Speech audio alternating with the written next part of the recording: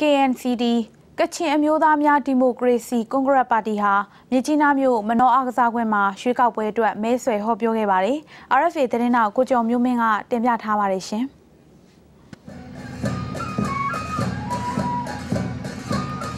အစောပိုင်းကမဲဆွယ်စည်းရုံးပွဲကိုမနောဥယျင်ကွင်းမှာအောက်တိုဘာ10ရက်နေ့ပြုလုပ်ဖို့ကချင်လူမျိုးများရိုးရာယဉ်ကျေးမှုဘို့ကော်မတီကခွင့်ပြုထားပေမဲ့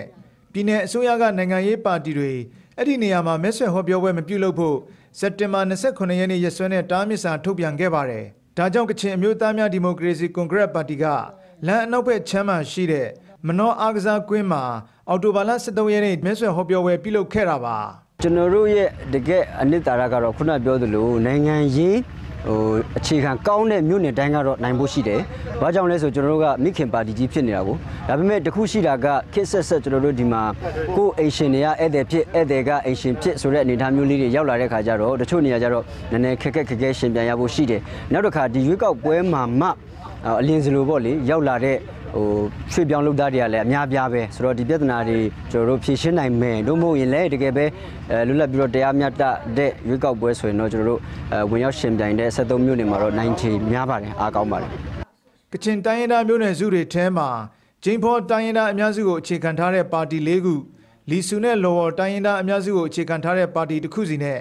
စုစုပေါင်းကချင်မျိုးနွယ်စုပါတီ6ခုရှိပါတယ် 2015ရွေးကောက်ပွဲကိုကျမတို့လူငယ်အမြင်ပေါ့နော်လူကြီးတွေဘယ်လိုမြင်လဲမသိဘူးကျမလိုလူငယ်တယောက်အမြင်နဲ့ကြတော့အရန်ပြောင်းလဲသွားနိုင်တယ်လို့မြင်ပါတယ်2015ပဲကြောက်လဲဆိုတော့သူတို့ကတဖြည်းဖြည်းပြောင်းလဲလာတာကိုကျမမြင်တာပေါ့နော်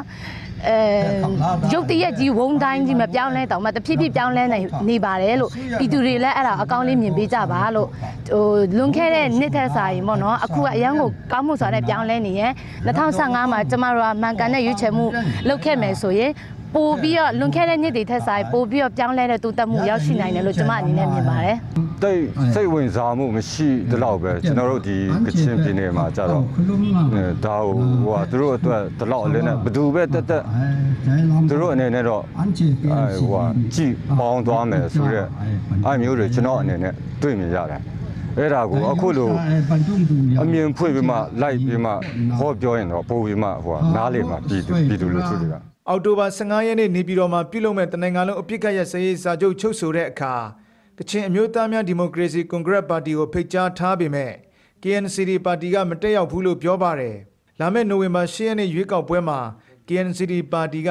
လွတ်တော်300အတွက်ကိုယ်စားလှယ်လောင်း30ကျော်ဝင်ရောက်ရှင်ပြိုင်မှာဖြစ်ပြီးဒီနေ့ဟောပြောပွဲကို မြစ်ကြီးနားနဲ့ဝိုင်းမော်မြို့နယ်တွေကကချင်တိုင်းရင်းသား300နီးပါးတက်ရောက်ခဲ့ပါတယ်ခင်ဗျာ။